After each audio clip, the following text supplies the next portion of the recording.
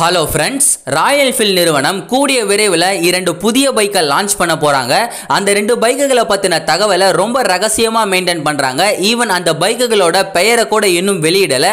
அந்த ரெண்டு பைக்குகளையுமே ஒரு கோட் நேம் வச்சு தான் இப்போதைக்கு அழைக்கிறாங்க. ஒரு பைக்கோட code name J one D இன்னொரு பைக்கோட கோட் நேம் ஜே ஒன் சின்னு வச்சுருக்காங்க. சமீபத்தில் தான் ராயல் என்ஃபீல்ட் நிறுவனம் அவங்களோட ஐநூறு சிசி ரக பைக்குகளை டிஸ்கண்டினியூ பண்ணாங்க. இந்த விஷயம் நமக்கு ஒரு வகையில் சோகமாக இருந்தாலும் புதுசாக இந்த ரெண்டு பைக்குகளை லான்ச் பண்ணுறது சந்தோஷத்தை தான் தருது.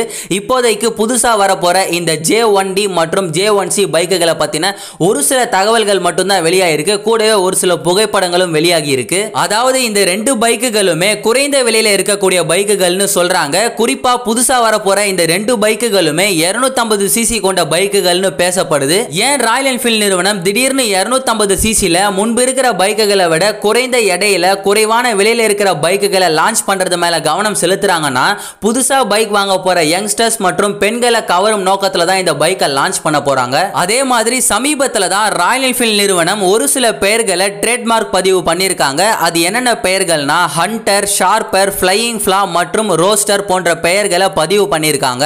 ஸோ புதுசாக வரப்போற ஜே ஒன் டி மற்றும் ஜே ஒன் சி பைக்குகளோட பெயர் ராயல் என்ஃபீல்ட் நிறுவனம் சமீபத்தில் ட்ரேட்மார்க் பதிவு பண்ணப்பட்ட பெயர்களில் ஏதாவது இருக்கும்னு எதிர்பார்க்கலாம். அதே மாதிரி அந்த பைக்குகளோட டிசைனை பொறுத்த வரைக்கும் இணையத்தில் வெளியான புகைப்படத்தை வச்சு பார்க்கும் பொழுது ஏற்கனவே ராயல் என்ஃபீல்ட் நிறுவனத்தில் இருக்கிற ஹிமாலயன் மற்றும் தண்டர்பர்ட்ல இருந்து இன்ஸ்பயர் ஆகி பண்ண மாதிரி இருக்கு. இந்த ரெண்டு பைக்குகளோட விலையை பொறுத்த வரைக்கும் ஏறத்தாழ ஒரு லட்சத்தி ஐம்பதாயிரம் ரூபாய் கிட்ட வரும்னு எதிர்பார்க்கலாம். எப்போ இந்த ரெண்டு பைக்குகளை லான்ச் பண்ண போறாங்கன்னா ஏப்ரல் மாதத்தோட இறுதிக்குள்ள இந்த ரெண்டு பைக்குகளை லான்ச் பண்ண போறதா தகவல் வெளிவந்திருக்கு. ஸோ உங்கள யாராவது ராயல் என்ஃபீல்ட் நிறுவனத்தோட பைக்கை வாங்குறதா இருந்தா இன்னும் ஓரிரு மாதங்கள் வெயிட் பண்ணி புதுசா வரப்போற அந்த ரெண்டு பைக்குகளையும் பாருங்க.